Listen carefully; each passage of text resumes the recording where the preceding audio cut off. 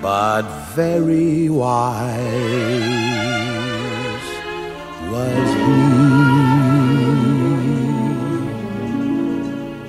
And then one day,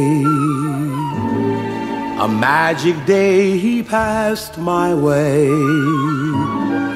And while we spoke of many things, fools and kings, this he said to me.